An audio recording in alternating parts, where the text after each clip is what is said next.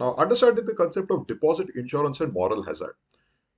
So, deposit insurance is a concept which talks about the kind of insurance which is provided against customer deposits. So, customer deposits up to a certain level are guaranteed by a certain agency. So, in the United States, we have FDIC, which provides a guarantee up to a certain level of investment deposits. Similarly, in India, we have DICGC, which is an agency similar to FDIC in the United States, which provides a protection up to a certain extent to investor deposits. So let's say that uh, FDIC is uh, providing insurance against X dollars for uh, invest for customers' money, which is parked as a part of uh, part of their savings with the bank. Then any any credit losses or if in case there is a run on the bank if, or if the bank runs into problems and is unable to repay this x dollars which which the customer has parked with the bank then any uh, anything up to this x dollars will be met by FDIC. So imagine x dollars is something which FDIC guarantees and the customer has parked y dollars. So we know that y dollars is greater than this. Now I'm keeping it generic so that uh, it becomes easy to understand and then we can apply it for different numbers as well. So in case that value of X dollars changes, this uh, explanation still remains relevant. So imagine that a customer has parked Y dollars with the bank.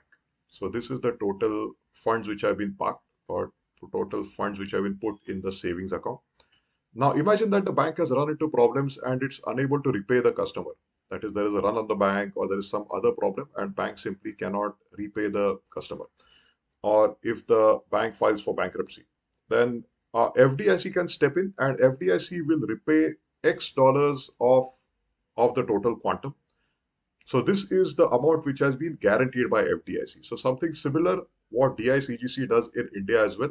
So the idea behind deposit insurance is to uh, bolster the uh, bolster customer confidence because unless customers are confident that their money is safe, they will not park their money in the banks. And unless the uh, funds are channeled into the banking industry, they, they won't be accessible for other economic activities. So that's why uh, enhancing and improving customers' confidence is paramount. And for this, the concept of deposit insurance exists in short. Now, a related concept to deposit insurance is moral hazard. Now, this is also something which is a type of risk which is commonly studied as a part of the insurance business. So we'll have a separate review on uh, insurance companies as well. We'll talk a bit about moral hazard there as well because it's a similar concept used there. So the concept of moral hazard implies that the insured parties tend to take higher risk than they would actually do in a business as usual scenario. So take a very simple example to understand this first point. So let's say I have a, I have a, I have a, uh, let's say I have a bike, and uh, I have purchased uh, purchased insurance for the bike. That is, I have theft insurance which I have purchased against uh, the bike bike getting stolen.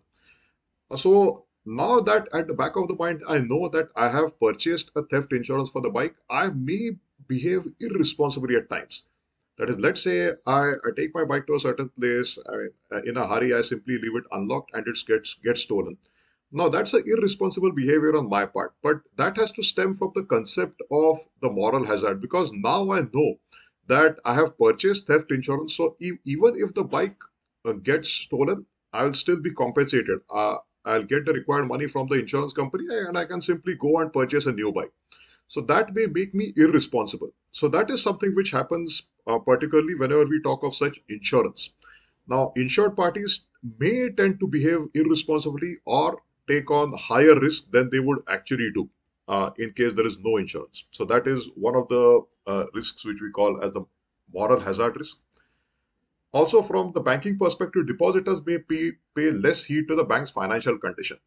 Again, it's very important that uh, any depositor who is parking money in the bank should keep a track of how exactly the bank is faring as well because uh, the financial condition of the bank is equally important because our hard-earned money so imagine that i am a depositor then my hard-earned money has been parked in saving saving accounts or time deposits with the bank And if the bank's condition is deteriorating, deteriorating naturally, my funds are going to be at risk. So my hard-earned savings will be at risk.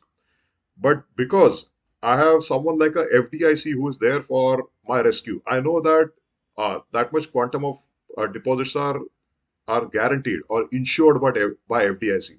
So I may I may not pay the required amount of uh, attention to the bank's financial condition. So so that can be another way of looking at moral hazard.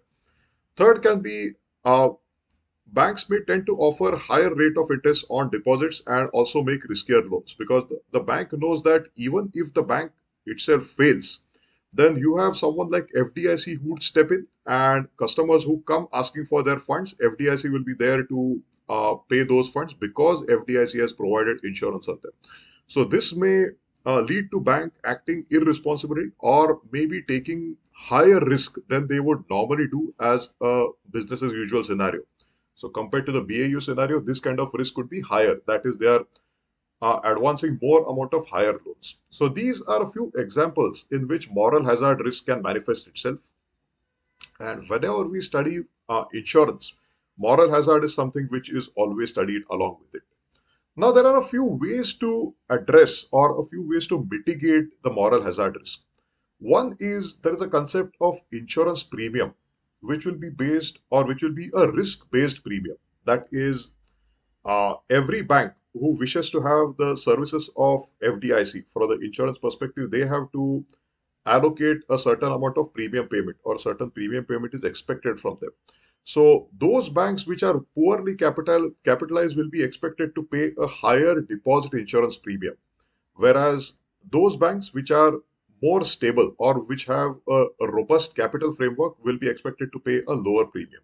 So, for example, a well capitalized bank might have to pay a premium of 0.1% of the insured amount, whereas a certain bank which is poor on the capital scale or which doesn't have ample amount of capital will have to pay a, a premium. So, they may end up paying uh, maybe something like 0.35% of the insured amount as a deposit insurance premium.